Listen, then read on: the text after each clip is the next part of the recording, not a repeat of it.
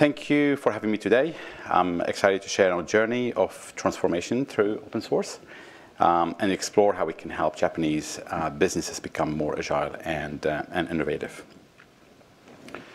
Um, so before we dive in, let me share a bit about myself.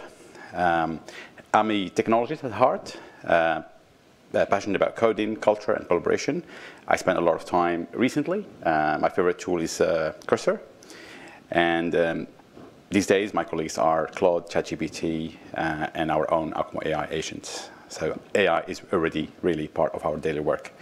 I've been in Japan for about 24 years, and it uh, um, really all started. I usually asked why I came to Japan. Um, the reason is simple: is anime. I love animation. Ikkyu-san is one of my favorites, and I love Kingdom. Uh, I love uh, I love um, um some other uh, Shin-chan and another um, anime. Um, and I've been uh, in IT uh, about 17 years, uh, more than 17 years. So as a former CTO of uh, Invast, a fintech public company, and now founder of Aokumo, I've seen both sides, the challenges of tradition, traditional systems and the possibilities of open source trans transformation. So I'll talk a little bit about that. Um, this quote from Jimmy Wales captures the essence of uh, what I want to share today. Open source is not just a development methodology, it's a way of thinking about collaboration, sharing, and innovation that can apply far beyond software. So from my experience, I believe this is true. Um, so, um, and I'd like to explore um, how uh, you know, this is key to transforming Japanese businesses. The agenda for today um, is, uh, has uh, five parts. Uh, the first one is uh, the wake-up call, so why change is necessary.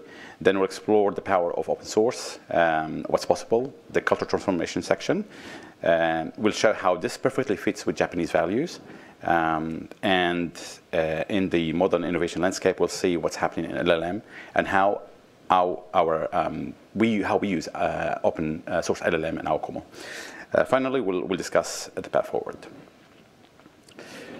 So um, first, let's look at where Japan stands today in, in technology adoption.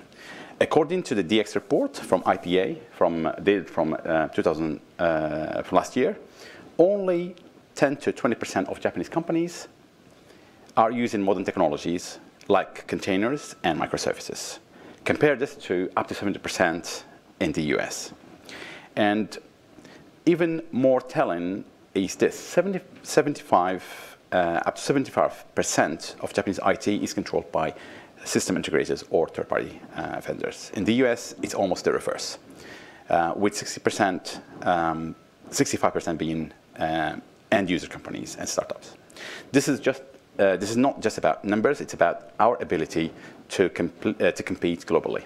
When three quarters of our IT vendors is controlled, um, is vendor controlled, how can we move at the speed modern business demands?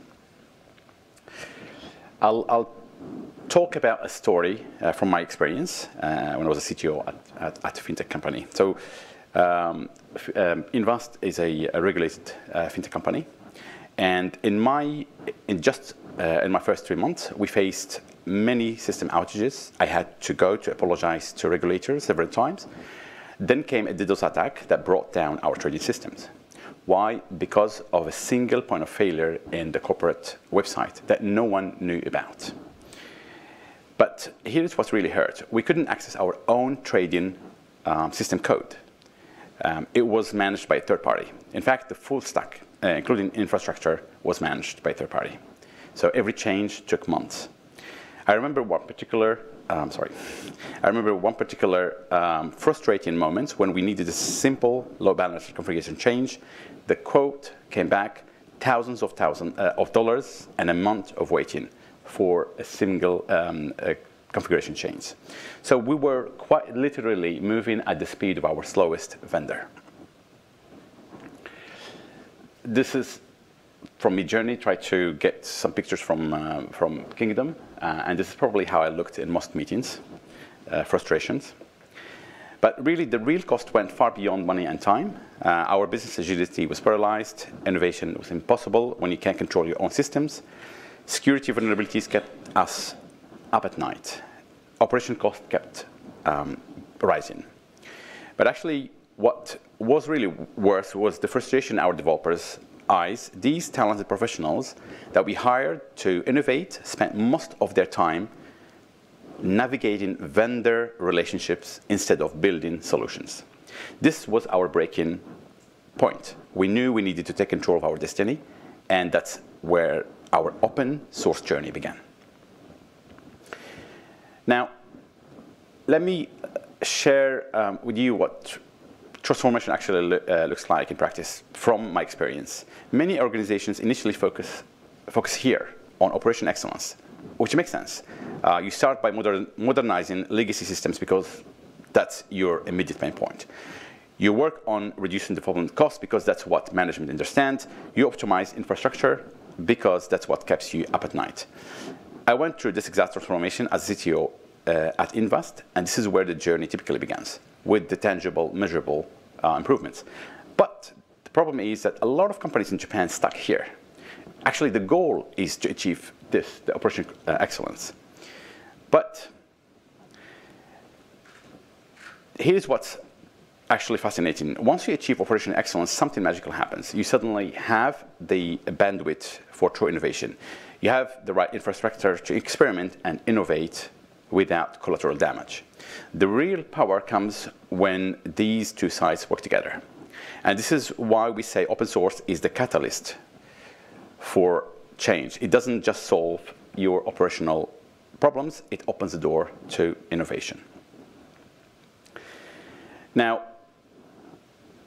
let me, before I show our, um, like what we did uh, using open source, let me share something powerful that Andy Jassy, the CEO of Amazon, said.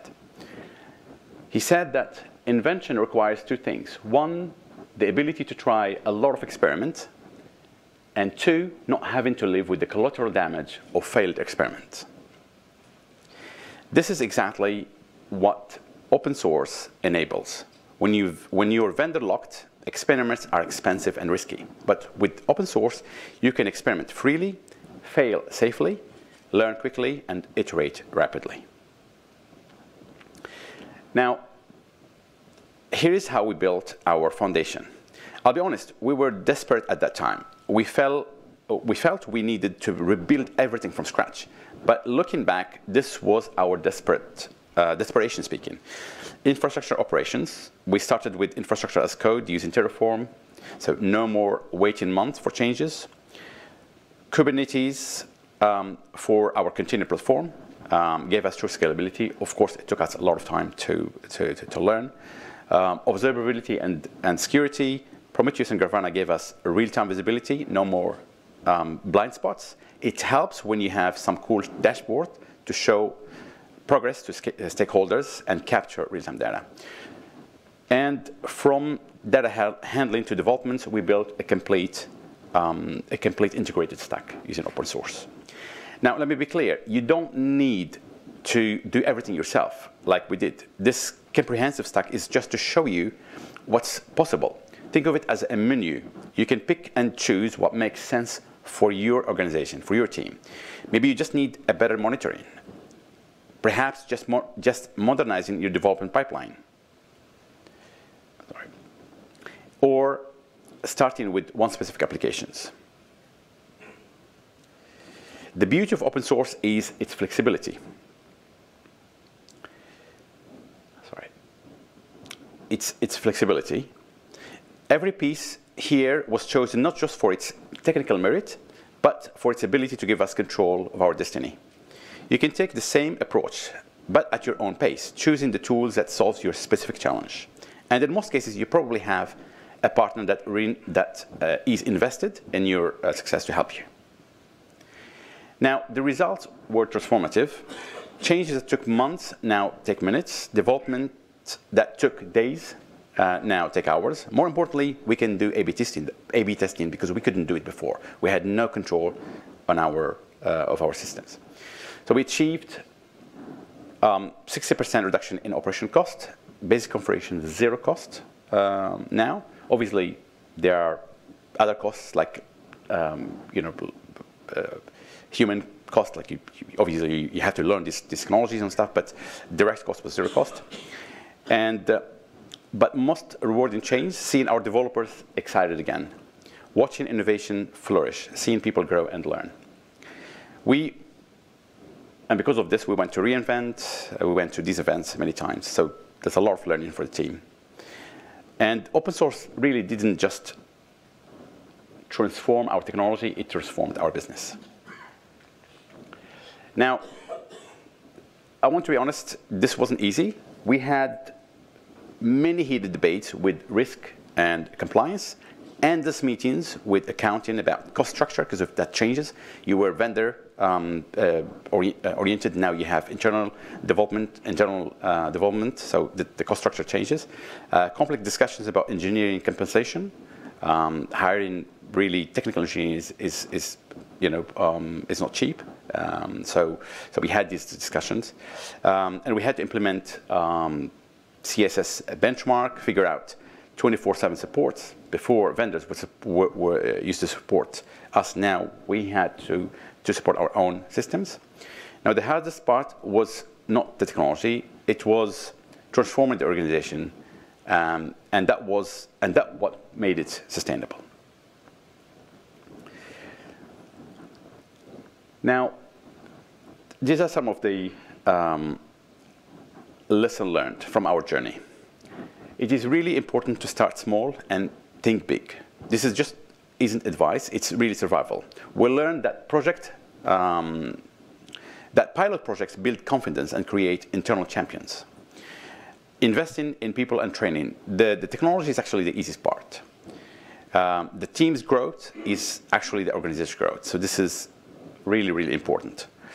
Uh, build internal champions. Find the passionate ones, because usually they'll inspire others.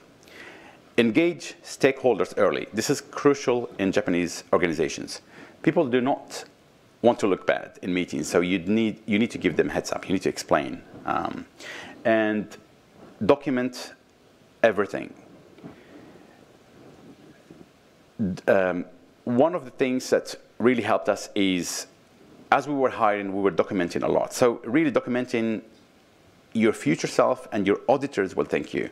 We had an external auditor, um, and luckily we were, because obviously as you're coding, as you're building, documentation comes, comes last, but we were doing it because we were hiring people, and that really helped because we, um, during the external auditor we had, uh, we, were, we were able to explain what we were doing. And some of the pain points is try uh, trying to, um, to, too much too fast, remember, you don't have to rebuild everything. Underestimating cultural impact. Um, technology changes in weeks, but people change in months, sometimes in years. Neglecting um, cultural aspects like nemawashi and horenso, this, the, these are uh, um, uh, cultural aspects of Japan. These tradition practices can actually be your allies if you understand how, how you use them well. Um, and also forgetting about support. Really, when you think about building, it's really important to think about support um, and ownership. Like who would, for example, if you have a 3 a.m. incident, it needs clear ownership.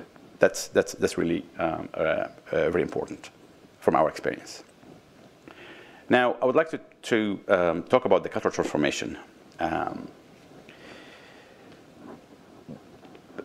Japan already, um, you're probably familiar with the ethos, open, open source ethos, um, which are collaboration, flexibility, and transparency. And Japan already embraces this open source ethos by default. Uh, we have uh, what we call the tatta ittai, the power of many as one. So in, in, in Japanese aesthetics, we have the concept of ma, the beauty in negative space. Similarly, open source shows us the power of collective unseen effort. For flexibility, we have what we call tekyonomichi, the way of adaptation. Uh, it's used in martial arts like uh, uh, Aikido. So using your opponent's force, uh, force to your advantage. Um, open source gives us the same flexibility, adapting tools to our needs. And for transparency, we have what we call hikareta, hikareta makimono, the open scroll historically, scrolls weren't just for writing. um, they were for sharing knowledge. Uh, this is the essence of open source, sharing knowledge, growing together. So open source isn't foreign to uh, Japanese values. It amplifies them. Do you know who this person is? Do you have an idea? Um, this is the Midjourney version of Oda Nobunaga, Oda Nobunaga-san. So um, Oda Nobunaga-san is a, a strategic general, as most of you know. And so, and like a strategic general, we need to build trust and alignment. Stakeholder engage engagement is really, really important. We used uh, Nemawashi for Kubernetes adoption. We started with small teams discussions, built consensus gradually, um, included operations, included risk and compliance, explained how the operation model will, will, will be when, when, we, when we move to Kubernetes and all that. So that happened earlier. And we showed this, um, we showed a working proof of, uh, of concept. Next, communication uh, evolution. We integrated Horenso. You probably know Horenso. Horenso is the um, um, it's a Japanese concept for report, communicate, and consult. Um, uh, and so we integrated that concept with modern tools like regular status updates, clear escalation path, transparent documentation. Uh, so people didn't need to come up with a solution before reporting an issue. You just share it as soon as a, a problem happens. So this cultural aspect. In, in, the, in the US, for example, you need to think first about the solution before you bring um, the, the problem. But um, we did the opposite. First, bring the problem, share it as soon as possible, and then we collectively find the solution. Um, so this is some, some, some um, uh, uh, cultural uh, differences. Quality automation. Uh, this is where Japanese excellence uh, truly shines. Traditional QC, QC, principles automated through DevOps, quality built in, best of both worlds. Uh, Japanese quality culture meets modern automation. So really we're building the future on proven foundation. So we don't need to let all those you know, um, cultural aspect of foundations uh, go. We can embrace them while also embracing um, new tools, new methodologies. Um, next, I'll, I'll just speak about, um, obviously, AI. Everyone is adding AI slides in their um, the, the, slides and presentations, so um, I thought to, to, to, do so, but this is from an open source uh, perspective, and um, also wanted to, to, briefly talk about how we're using open source um, LLMs uh, in Aokumo ourselves to, uh, to help existing clients and also uh, to build our own tools. Now, um, you're probably familiar with, with, with this graph. Um, if you look at these numbers, you, you see that open source AI models are now competing with proprietary solutions. But the real story isn't just about performance, it's really about accessibility, um, which means um, democratizing innovation, um, no more million dollars AI budget, local deployment and control, customized for your specific needs, and this is what we've been doing.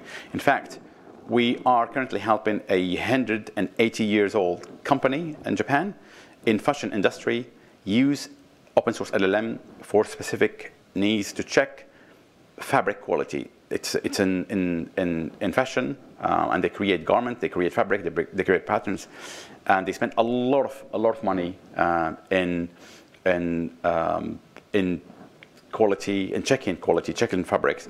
And so we're using um, open source um, uh, LM and, and, Vision to, to help them um, automate some of these processes. So open source is turning AI from a luxury into a universal tool for innovation. And this is just um, not theory. We'll, we'll, explain how we're doing it ourselves in, uh, in the next slides. Um, here, just sharing some um, global stories, um, uh, how these LLMs are playing out across industries.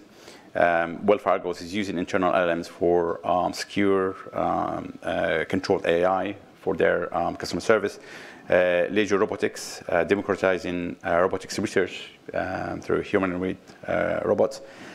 zero DHA, uh, open source projects indicate, you know, it's, they're um, uh, shifting towards business models because they're investing in open source um, and they're seeing it as a strategic for long-term innovation and market leadership, not just um, use it internally, but they're also investing. Um, so what's fascinating is how each organization adapts these tools to their unique needs. As I mentioned, we're helping um, this company um, with their fashion uh, uh, problems using LM um, uh, custom LLMs for, um, to, to, help them with their, uh, with their unique needs. So the message is clear. Open um, open source is the universal, universal catalyst for innovation, transforming how industries operate and evolve. Now, how Aokumo is um, using um, LLM. So um, we are using op open source LLM in, in, different ways to build agentic workflow that can help organizations operate microservices. We're also um, using them to fine tune for specific tasks, like um, Japanese, like for example, JSOX reporting. Uh, it has a very, very specific formats. So we're, we're, we're doing, uh, uh, we're fine tuning some of these models to, to help us, um, especially the, the, the, the, small models. Um, so this is a, a snapshot of, of, of Aokumo AI tools. Uh, behind it, um, we have AI um, um, agentic framework, and it helps you with. Um, it's a it's a little bit like the uh, if you're familiar with Devin uh, Devin AI, the software uh, AI, it's a little bit like like it where you actually ask it, for example, um, how you, how would you upgrade? In this case, you want to upgrade Kubernetes from 1.25 to 1.29 or 30 now, and, and it helps you because uh, it has access to your to your systems, so it tells you um, how how you do it, uh, like what it creates a runbook for you and it helps you um, uh, to, to, to, do it. Um, so so we're, we're using these um, these LLM uh, open source LLM to, to help us uh, with uh, with this. So really help us. Uh, we're building business on, on top of these uh, of this open source. Um, and so um, sorry if I if I moved too fast. So to wrap up. Um, so as we wrap, let me, uh, I want to leave you with three key uh, uh, thoughts. First, um, open source is strategic, not just a development methodology. It's a catalyst um, for business transformation and key to future innovation. And the time is, is really now. Um, AI revolution is accelerating. Tools are almost enterprise ready not entirely enterprise ready, but, uh, but getting enterprise ready. Um, community is, is thriving. And the, the third one is really start small, think big. Um, begin with pilot projects, build on proven uh, foundations, and uh, leverage a global community. So the future belongs to those who embrace open collaboration. Um, and um, this is not the end, just the beginning of, um, of a journey. So I'm really interested, generally interested in what challenges you're facing, where you're in, uh, in what phase in your uh, open source journey uh, you're at, and how we can help each other uh, succeed. So um, let's stay connected. Happy to uh, move to Q&A. It's a bit too We've got about 15 minutes, right?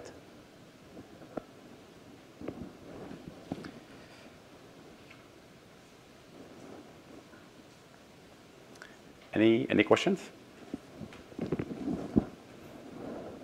Apologies, I'm still jet lagged, a little bit, uh, you know, going a little bit too fast. But um,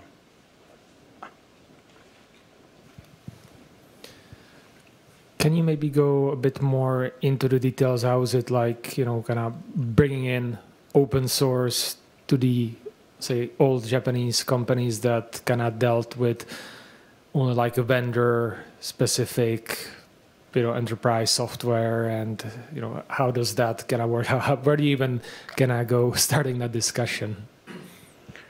So for, for, for great, thank you for the, for the great question. Uh, for us, it was it was really easy because we were suffering. Uh, so we, I think, I had to go and apologize to regulators many times. So it was clear from management perspective that things need to change. Um, and uh, so the way we, we started, we started really small. We started with, with uh, proof of concept uh, on um, how. Um, so we, we, we, created a small uh, uh, cloud center of excellence. So we started with a small, um, uh, how we call it, um, not MVC, you call it a minimum viable cloud. Um, and, and we, again, we, we brought, the, the most important is really, because when we talk about cloud, when we talk about open source, the security aspect um, always, you know, is this secure? Is this? Um, uh, so we started with a prototype, and uh, uh, we involved risk and compliance. But the problem is we had to have a lot of lot of communications because a lot of terms were, were new to, to compliance and risk. We have to translate a lot of these um, a lot of these uh, these terms. But what what really helped us is um, our our partner AWS. They uh, they helped us prepare. They they they were part of the um, of the meetings, explaining the, the, the, risk, explaining what it means to, to, to move to, to, public cloud, what it means to use managed services, what it means to, to build these, and uh, that really helped. So having a um, first management needs to be on board, so you need to see that the, the, the, need for, for, for change, need for embracing this open source, and they need to see it as a strategic, not just. Uh, so it really needs to come from, from the top is, uh, is, clear, uh, is clear. And then having a digital partner that can help you, can help the communication internally is, I, I, I think is really, uh, really important. And that, that, in our case, that was the case. And again, starting small um, helped us, especially because we were dealing with, um, you know, um, it's important to change because the regulated environment, so you can't, you can't change uh, quickly. You have to plan things. And uh, so we started with, um, with charts. For example, we just started with existing data um, creating dashboards for existing, uh, existing data because we owned the data. We didn't own everything. We didn't own the code the system, but we owned the data. So we, we looked at the data, we created data lake, we created dashboards, and that was small wins. So we started with small wins. and um, But, uh, but yeah, we, uh, again, started really small, but with, with, uh, with big impacts. Uh, anything that can, that can bring everyone together and see the value of open source is, is good. I hope that answered the question. Thank you. Any, any, any question?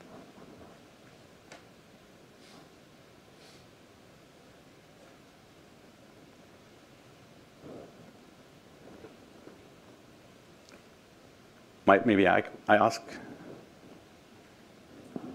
do you like Kingdom? Do you watch Kingdom? It's, it's one of my, it's one of my favorite anime. Okay, so if if there are no more um, questions, I think we're about almost 30 minutes. We can finish early. Thank you. Thank you very much for your, for your time.